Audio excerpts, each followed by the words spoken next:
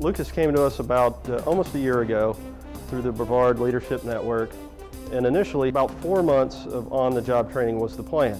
You know, there was really no commitment on anybody's part. And during those four months, he learned a lot of skills here at the airport. He's learned uh, how to install floors. He's done concrete. He's done carpentry. He's worked on the airfield. Uh, Lucas uh, has a security badge like I do. He's certified to drive on the aircraft operations area, um, which he does every single day. When the on-the-job training came to expire, the BLN uh, asked if there was an opportunity for Lucas to work here permanently. And we said yes, because uh, he had done such a great job on the OJT. We just immediately determined that he was an asset. He was somebody that we felt we couldn't do without. And we wanted him to stay here. We didn't want to lose him. We didn't want him to go somewhere else. I love working here. I, people are friendly. Get to see different people from all across the country and the world.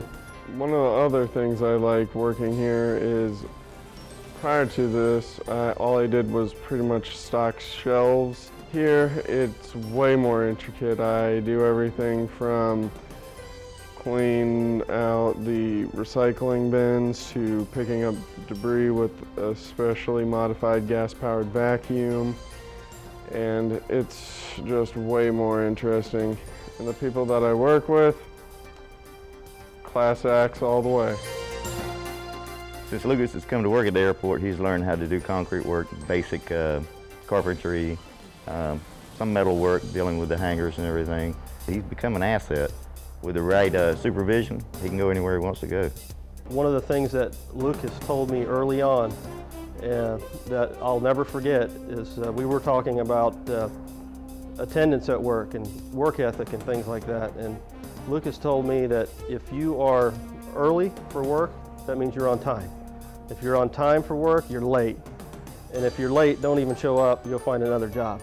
And he has stuck to that. He's been here almost one year. He's never missed a single day. He's never been late. What a perfect employee. What more could you ask for? Uh, he's really, in many ways, a model employee.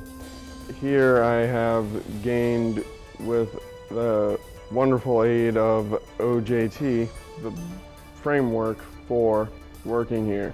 This job is bar none the funnest I've ever had because every day is different. I mean, every day is.